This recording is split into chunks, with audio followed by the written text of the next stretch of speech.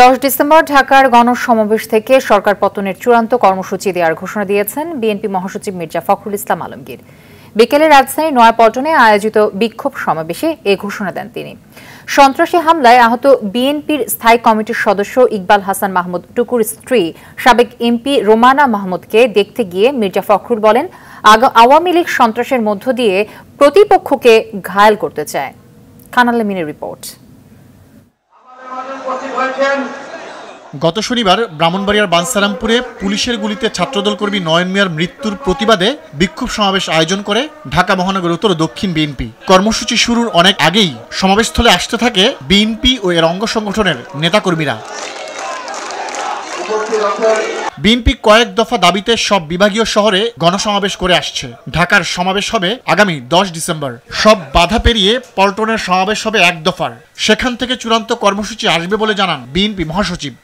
এখনও তো আসল ঘোষণা দেই নাই। আসল ঘোষণা তো আসবে দশ তারিখে।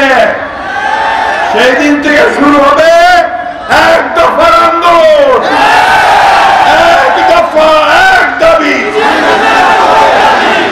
এক দফা এক দাবি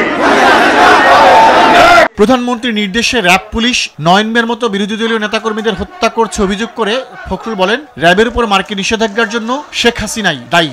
অন্য রাষ্ট্র নিষেধাজ্ঞা দিয়ে আমাদের জন্য লজ্জাকর লজ্জার অপমানের কিন্তু এই লজ্জার অপমান জন্য দায়ী কে? শেখ হাসিনা, আওয়ামী লীগের সরকার, বন্ধুগণ। আমরা চাই না যে আমাদের অন্য কোনো বাহিনী আবার সেই নিষেধাজ্ঞায় পড়ুক। তাই পরিষ্কার করে বলতে চাই জনগণের প্রতিপক্ষ কেউ হবেন না। জনগণকে কখনোই ছোট করে দেখবেন না। এই জনগণ এই দেশের মালিক। এর আগে সিরাজগঞ্জে সন্ত্রাসী হামলায় আহত জেলা বিএনপির সভাপতি ও বিএনপির জাতীয় স্থায়ী কমিটির সদস্য ইকবাল হাসান মাহমুদ টুকুর স্ত্রী রোমানা মাহমুদকে দেখতে রাজধানীর আসাদ গেটের বাসায় যান মির্জা ফখরুল। সেখানে তিনি বলেন সন্ত্রাসের মধ্য দিয়ে প্রতিপক্ষকে ঘায়েল করতে চায় আওয়ামী লীগ। আওয়ামী লীগ কোনো মতেই সন্ত্রাস ছাড়া টিকতে পারে না।